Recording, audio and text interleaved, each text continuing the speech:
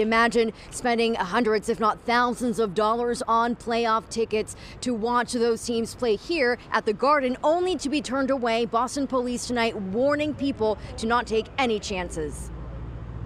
Banner after banner, decals, and billboards, Boston is ready for the C's and B's to begin their playoff runs. The fans are pumped. Now we got ourselves some jerseys. We're getting amped up for Saturday. Totally amped up. The Bruins hitting the ice on Saturday. Hopefully, we win first round against Toronto. The Celtics on Sunday. 18's going up. It should go up this year. If it doesn't go up this year, phew, something's wrong. With the teams pushing for championships, the rush to buy playoff tickets has begun. Boston PD issuing a warning amid the excitement, encouraging fans to only buy tickets from authorized online ticket retailers. Try to go through the legitimate sources because I don't want to be like paid like thousands of dollars and not be able to go. The Better Business Bureau suggesting ensuring the website you use is not a third party knockoff, using a credit card which may offer scam protections, not paying via money transfer or with gift cards, and ignoring deals that sound too good to be true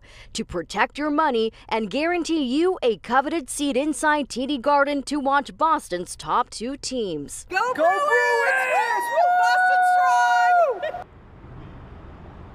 So much excitement, and the cheapest tickets for the Bruins game on Saturday will cost you around $150 for the Celtics, 250. Now, if you happen to get one of these counterfeit tickets, make sure you report it to police. We're live outside of TD Garden tonight. Jennifer Pignat, the WCVB News Center 5. Jen, thank